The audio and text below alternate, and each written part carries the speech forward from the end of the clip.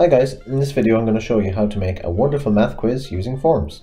So firstly, you want to sign into your Office 365. You want to click Forms. You want to go New Quiz. You want to give it a title.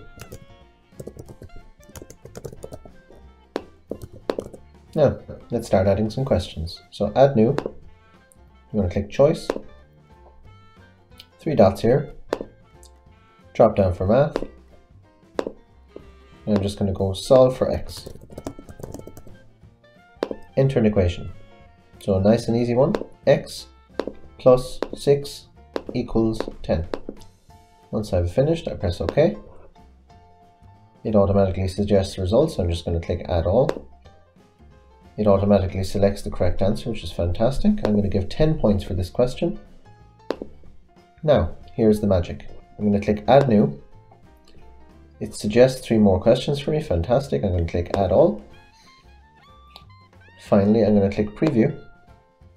And then we're going to have a quick go at solving it.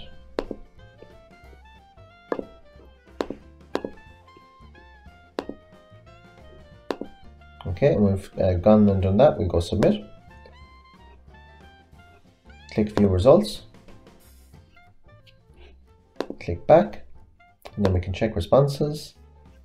Lovely. Very, very nice. Very easy to do. I hope you enjoyed it. See you later.